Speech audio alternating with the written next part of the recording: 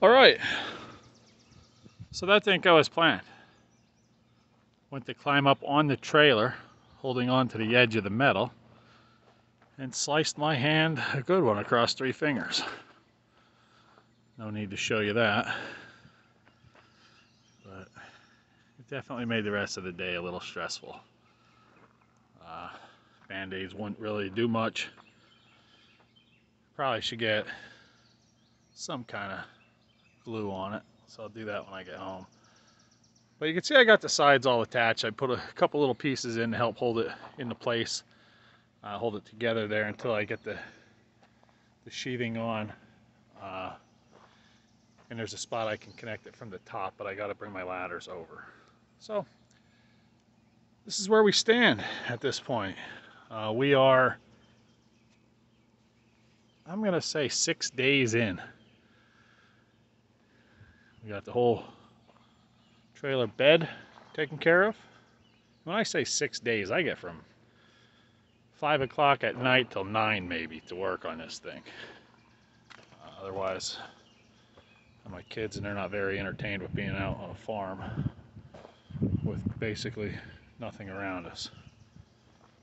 But uh,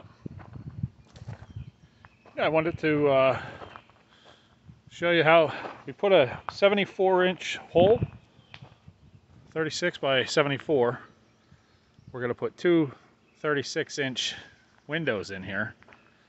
Uh, and then I'm just going to put my spacer in between the two in the center. And then any extra space I have we'll close it off on this side closest to the front because I'd rather have the extra space uh, in that area. So I could put our, our menu board maybe or something in that sense. I'd like to have back here the area that has the name, company name on it. So I'm happy with where we're at minus the hand.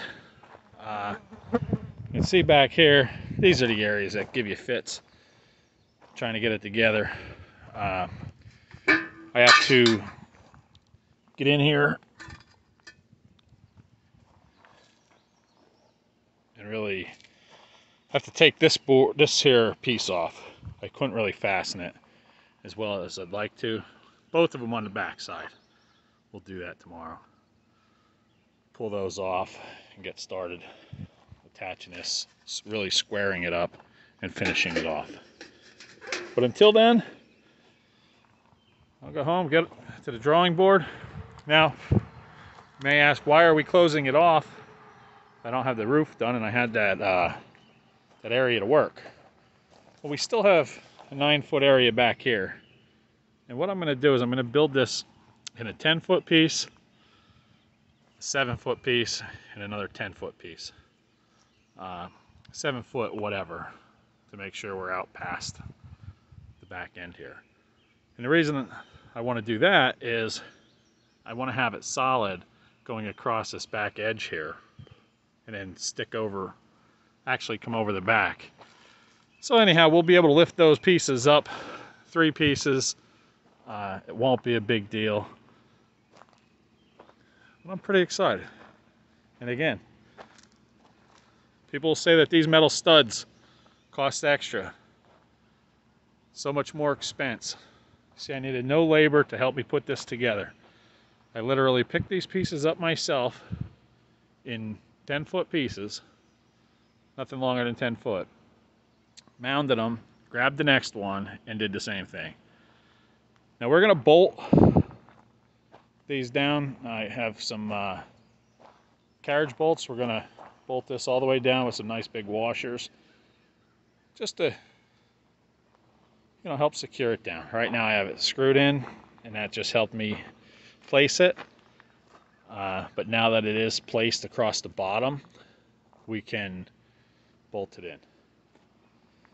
But that's a nice little project I can have my seven-year-old son or 10-year-old daughter help out with. I can drill the holes and they can bolt them in. So, okay, well, I'm going to leave it at this. Head home.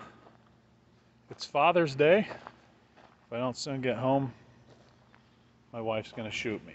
So, time to go hang out with the family a little bit. And we'll come back and continue working on our dream.